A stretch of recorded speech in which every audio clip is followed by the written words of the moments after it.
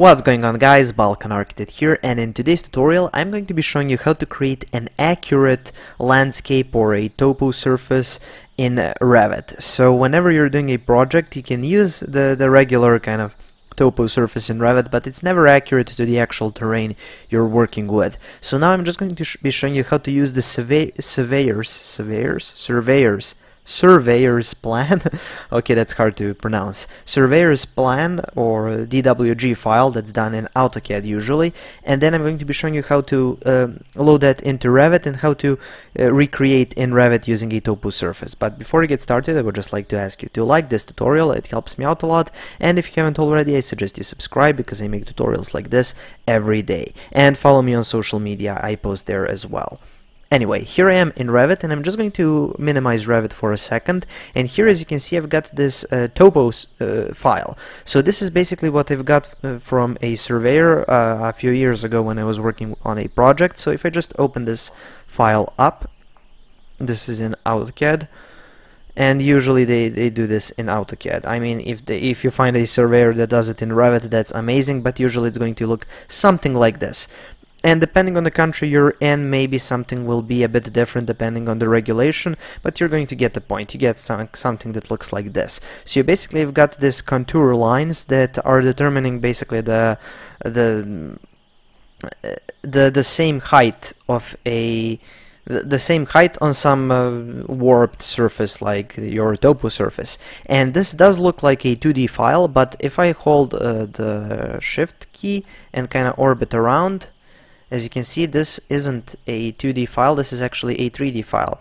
These lines aren't in 2D, they're in 3D, and there is some line uh, here below this uh, this actual model. So what does this mean? Well, basically this is kind of extended from the uh, 0, 0 level to the actual uh, height of the of the, the earth or of the surface in real life. And if that doesn't make any sense at the moment don't worry when we load it into Revit it will make a bit more sense. But anyway let's just close this file off. I just wanted to show you what uh, your basic surveyor uh, topo surface looks like. Now let's open Revit up and let's say we're doing a new project and we want to load this in. So go to architectural template for this or or whatever template you prefer to use for your projects.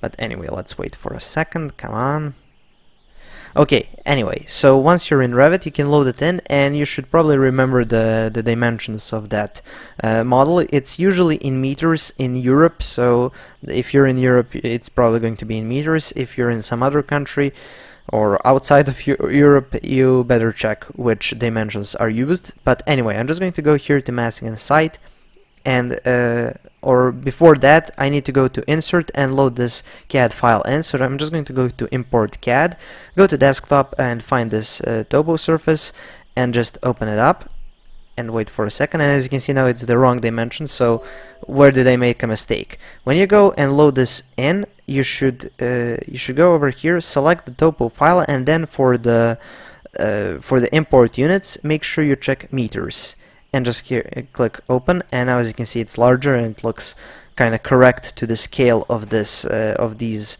uh, elevation points over here. But anyway how do you turn this into a topo surface? Well if we go into 3d as you can see here are our levels and this is where the topo surface is or the, the CAD drawing is. That's because this is elevated above the sea level and uh, this is at around 550 meters above sea level, the, this uh, this area that was surveyed for for my project so you need to bring it down to these uh, these kind of level points so what I like to do is I like to just select this and uh, maybe unpin it and then just for the base offset type in minus 550 or let's first change the units into meters. So just type in UN change the units into meters hit apply okay.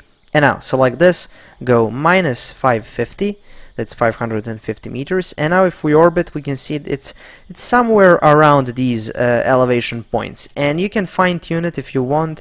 Uh, for this project where I'm just showing you how to turn this into a topo surface I'm not going to be changing that. But basically that's how you bring this down or bring it up to your uh, level 00 Anyway, so this is what we have, and now we want to turn this into a topo surface. So this is the, uh, this is what you, why you're actually here. So you just go here to massing and site, you go to topo surface, and here you've got place point option, and then you have create from import. That basically means it's going to create it from a CAD file. So you just hit that, and then you go select import instance so you select this and then it gives you this little dialog. And here uh, basically you're only going to select the, the layers that are these contour lines.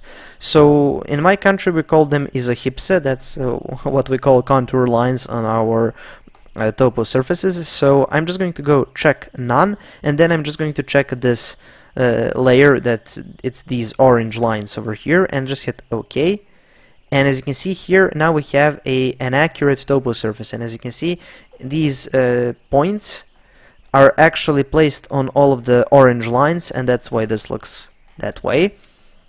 And anyway so you just hit finish and maybe we can okay go here maybe go to shaded. And as you can see over here if we select this topo surface if we orbit around uh, we can actually see it it looks real good. And if I go maybe into level 1 and create a section going through this kind of like this. And yeah and let's extend it a bit.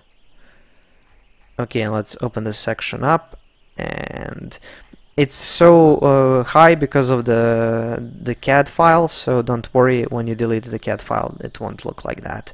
But anyway so here and let's change the scale to something like 1 to 500 and here you can see this is the topo surface and the CAD file is usually just going to be annoying so you can just either delete it or just hit delete or uh, go to VG or visibility graphics and just turn off the imported categories and hit apply and now you can only see your topo surface. And as you can see it's quite accurate. It's exactly like it is on terrain. So now you can accurately place your building on your topo surface Anyway, that's pretty much it for this accurate topo surface tutorial in Revit. Thank you for watching, please subscribe, like and share this video, and if you have any questions, comments or suggestions for any future tutorials, please leave them in the comment section below. And for all of my Patreons on Patreon, uh, I will be uploading this CAD file so you can test this out yourself, as well as the, the finalized file with the topo surface.